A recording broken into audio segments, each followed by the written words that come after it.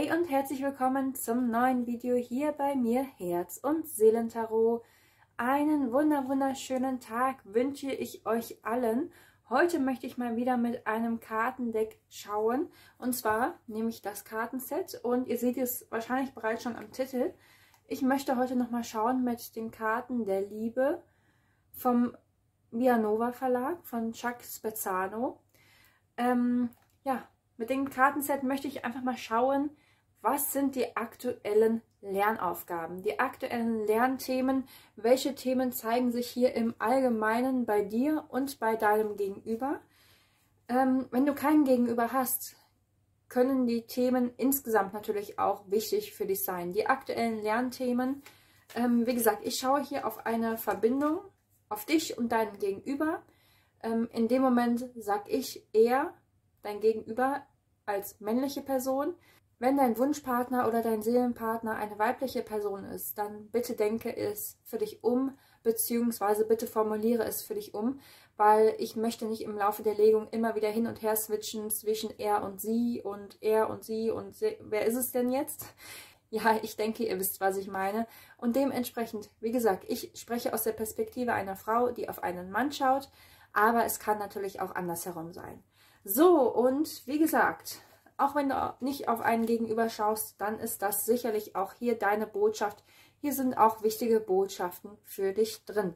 Gut, dann werde ich jetzt mit den Karten schauen und nach einer Botschaft erstmal für dich, für meine Zuschauer fragen. Was darf ich jetzt wissen? Eine Botschaft für meine Zuschauer.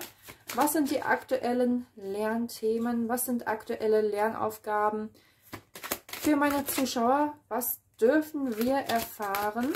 Was dürfen wir dazu lernen? Worauf dürfen wir achten? Okay, was sollten wir beachten? Worauf dürfen wir achten? Ich nehme auch noch die Karte an der Unterseite. Ähm, zunächst hat sich aber erstmal hier die Karte Entzücken gezeigt. Es geht hier darum, zu lernen, wieder Spaß zu haben. Hier im Kreise vielleicht deiner Liebsten, mit der Familie, mit den Freunden, Spaß zu haben, das Glück zu genießen, ähm, wieder mehr Freude im Leben zu genießen. Und ähm, ja, entzückt zu sein über auch Kleinigkeiten. Ne, sich über Kleinigkeiten zu freuen, dankbar dafür zu sein. Diese Impulse bekomme ich hier gerade vor allem herein. Und was dürfen wir noch lernen, beziehungsweise was darf hier das Kollektiv, was darfst du als Zuschauer noch lernen? Achte mal auf deine Gedanken. Wo hast du noch Zweifel? Wo bist du unsicher? Wo trennt dich noch etwas von einer gewissen Person? Wo trennt dich noch etwas von deinem Ziel? Was möchtest du vorwärts bringen und warum bist du pessimistisch? Warum bist du unsicher? Welche Zweifel hast du noch und wieso sind diese Zweifel vorhanden? Ebenfalls ist es auch hier wichtig, Erwartungen herunterzuschrauben, beziehungsweise Erwartungen vielleicht an die Mitmenschen ähm, mal zu lösen. Erwartungen zu lösen heißt einfach in dem Moment, ähm, ja, vielleicht auch die Erwartung in Kombination mit den Zweifeln. Die Erwartung im negativen Sinne ist, ach ja, es geht eh alles schief. Ach ja, ähm, ich werde eh Pech haben. Ähm, mein Wunschpartner wird eh dann eine andere Frau haben. Ja, ich werde eh kein Glück haben bei dem Thema und äh, werde meinen Wunsch auch nicht erreichen. Ist das deine Erwartung? Ist das dein Wunsch? Wie kannst du es umformulieren? Natürlich zum Positiven, natürlich im Glauben daran, dass deine Wünsche sich erfüllen können, aber trotzdem nicht zu, mit zu hohen Erwartungen. Manchmal können diese Erwartungen auch Druck erzeugen und das bedeutet einfach, dass unterbewusst manchmal einfach so eine Hoffnung und eine Erwartung an den Gegenüber ähm, gerichtet wird oder an eine gewisse Situation gerichtet wird und man ähm, wirklich nur hofft und stehen bleibt. Das ist so die Energie, die ich hereinbekomme. Vor lauter Erwartungen sich nicht selber in Bewegung zu setzen, sondern nur darauf zu hoffen, darauf zu warten, dass etwas von außen kommt. Aber ähm, ich sehe hier erstmal vor allem auch bei den meisten ähm, im Kollektiv, was ich hier hereinspüre. Ich spüre ja, hier sind verschiedene Gruppen da und es geht hier um diese negativen Gedanken, negativen, zweifelnden Energien, die hier vor allem sehr, sehr stark sind. Und wir dürfen hier ins Empfangen gehen, ins Empfangen vor allem der positiven Energien. Wenn es natürlich auch darum geht, ähm, hier die Balance zu finden zwischen Erwartungen, zum Beispiel, ja, ich wünsche mir, dass der Gegenüber sich jetzt bei mir meldet. Das ist in den meisten Fällen auch völlig berechtigt. Ne? Es muss ein ausgeglichenes Geben und Nehmen bzw. Empfangen da sein. Das wäre natürlich wichtig. Und es ist wichtig, dass du auch ins Empfangen dieser positiven Energien, der positiven Gedanken gehst, also auch selber ähm, es zulässt, dass du das Glück auch empfängst und nicht abwehrst und sagst, ja, ich werde es eh nicht erreichen. Ne, da gehst du ja automatisch auch selbst in eine Abwehrhaltung. Deshalb empfange Wunder, sei offen dafür, dass die Situation sich verbessern kann. Und ja, ähm, natürlich in gewisser Art und Weise hat man zum Beispiel Erwartungen auch an den Gegenüber, wenn man hofft, dass er sich wieder meldet. Aber ähm, Manchmal spielt das Ego auch daran eine große Rolle. Und deshalb darf man da manchmal genau hinhören, wann ist es wirklich das Ego, was sagt, ich will mich jetzt nicht bei ihm melden, er muss das tun. Oder wann ist es wirklich berechtigt, insofern zu sagen, ja, ich habe mich schon so häufig immer bei ihm gemeldet, jetzt ist es mal einfach wichtig, dass es andersherum ist. Ne?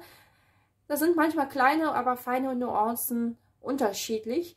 Aber es geht hier darum, wir dürfen lernen, ins Empfangen zu gehen, das heißt auch die Aufgaben des Gegenübers nicht abzunehmen, aber auch positive Wunder zu empfangen, ist natürlich hier auch ganz, ganz wichtig und die Zweifel beiseite legen. Mehr das Glück zu genießen, das ist eben ganz, ganz wichtig für dich, fürs Kollektiv. Gut, dann schaue ich jetzt weiter. Was sind die wichtigen Lernaufgaben und Botschaften, für den Wunschpartner, für den Seelenpartner, was hat, ja, was hat er noch zu lernen, beziehungsweise wo ist er vielleicht auch gerade dran? Was bearbeitet gerade dein Gegenüber? Wo ist er gerade da dran?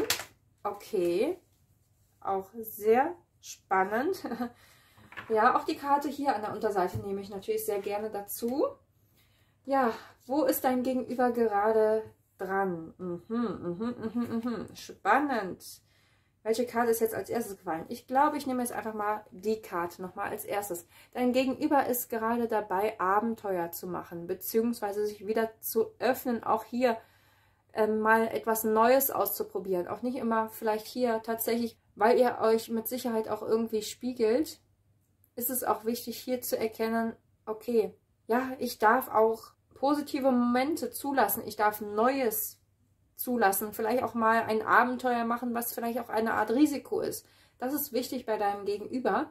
Dein Gegenüber darf lernen, Liebe zu spüren und Liebe zuzulassen. Er ist gerade dabei, sein Herz zu öffnen, wieder mehr Liebe zu spüren. Ähm, es kann tatsächlich sein, das gerade wirklich eher in einer Phase der Glücksenergie auch tatsächlich eigentlich auch schon ist.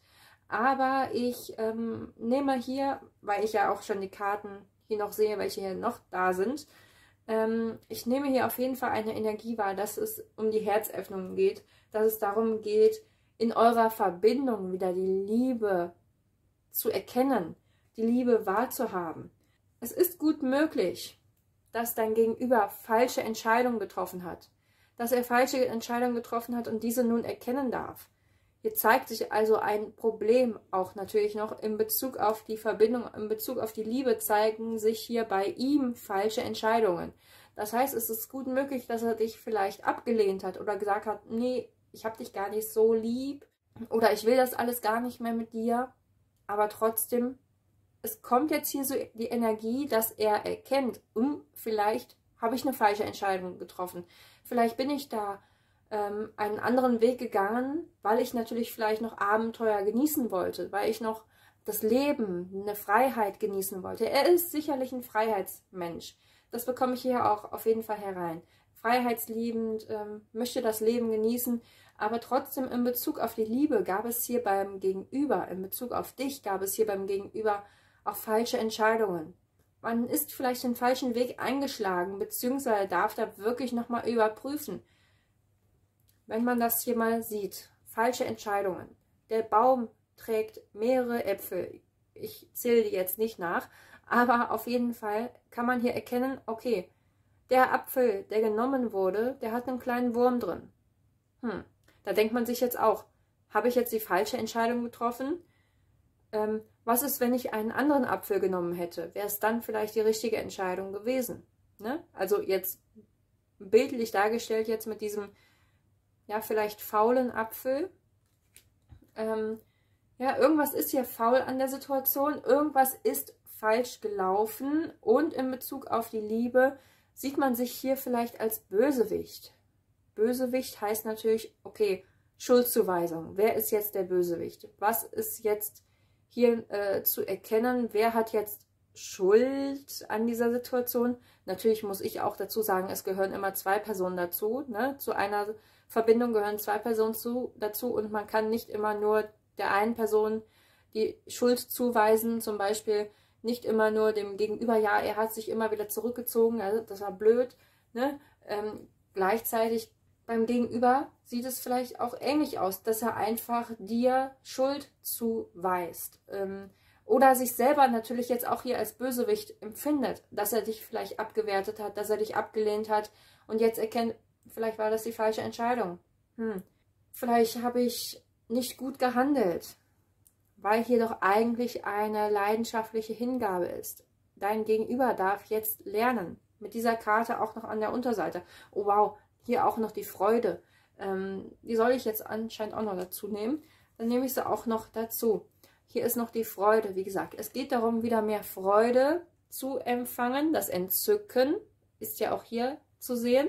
Also es geht darum, ähm, die, diesen Pessimismus, die Unsicherheiten zu lösen und beim Gegenüber natürlich auch ganz, ganz klar darum, sich auch wieder dem ganzen Weg hinzugeben, dieser Liebe hinzugeben, dieser Anziehungskraft hinzugeben, die er nun mal auch für dich spürt und sich dann nicht die Schuld zu weisen und zu sagen, ja, okay, ähm, da kann man nichts mehr dran tun. Auch dein Gegenüber hat starke Zweifel, Unsicherheiten, wie ähm, die Situation am besten weitergeht. Ich bekomme hier die Aufgabe beim Gegenüber herein bereuen, beziehungsweise zulassen, auch zu erkennen, dass man selber Fehler gemacht hat und nicht immer nur anderen äh, die Schuld sozusagen an der Situation zugewiesen hat. Das ist hier ganz, ganz wichtig. Dein Gegenüber hat vielleicht gesagt, ja, du hattest immer zu hohe Erwartungen, du hast mir Druck gemacht, ähm, du hast mich eingeengt oder ähnliches. Ne? Es, es kann aber auch mit anderen Personen natürlich zusammenhängen, mit äh, Personen in seinem Umfeld. Aber trotzdem ist es hier jetzt wichtig zu erkennen, dass vielleicht auch er verletzend zwischendurch war, dass auch er Verhaltensweisen hatte, die ähm, oder an den Tag gelegt hat, die auch ja verletzend für dich waren. Denn er darf hier erkennen, das ist die wichtige Lernaufgabe, die Liebe, die Anziehungskraft, die Freude, das Glück miteinander anzunehmen. Das ist vor allem die wichtige Lernaufgabe beim Gegenüber. Was für eine spannende und interessante Botschaft. Ja, ich möchte einfach nur mal als kleinen Impuls mal noch nachschauen, als kleiner Zeitimpuls. Wann äh, wird diese Lernaufgabe beendet? Wann kommt hier eine Veränderung rein? Wann wird diese ja, Lernaufgabe abgeschlossen? Bitte bedenkt, ich nehme jetzt hier diese Zeitkarten. Schaut euch den Impuls an. Beim einen oder anderen kann es schneller gehen, beim einen oder anderen kann es auch ein bisschen länger dauern. Es sind einfach Impulse. Aber bitte versteift euch jetzt nicht auf die Zeittendenzen. Ich hatte schon mal ähm, auch, auch in privaten Kartenlegungen das gemerkt weil mir das Feedback auch gegeben wurde, ah, diese Zeitkarte, die du da gemacht hattest, das stimmt absolut. Es hat gepasst. Aber beim einen oder anderen ist es vielleicht ungefähr passend. Okay, wir haben jetzt hier schon eine Karte. Es ist alles im Fluss. Wir dürfen also wissen, es darf alles hier fließen gelassen werden, losgelassen werden. Acht Tage bis acht Wochen. Schaut euch mal an, die acht, natürlich hier auf der Karte ist es auch eine Art des Unendlichkeitszeichen.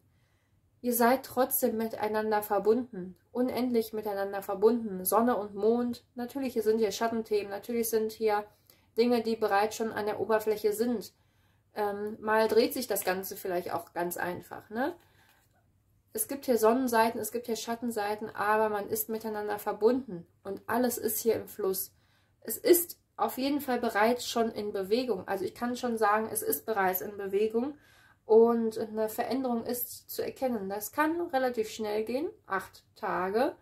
Es kann aber auch ein Stückweise dauern, acht Wochen. Aber ich würde mal sagen, diese zwei Monate, die kriegen wir auch hin. Und da schaffen wir es auch, diese Lernaufgaben zu lösen. Wenn du Unterstützung haben möchtest, bin ich natürlich auch sehr, sehr gerne für dich da in einer persönlichen Kartenlegung. Dazu melde dich doch gerne bei mir per E-Mail über WhatsApp oder sehr, sehr gerne auch über meine Webseite. Alle Infos dazu findest du unten in der Videobeschreibung. Ich wünsche jetzt noch einen wundervollen Tag, alles Liebe und bis bald.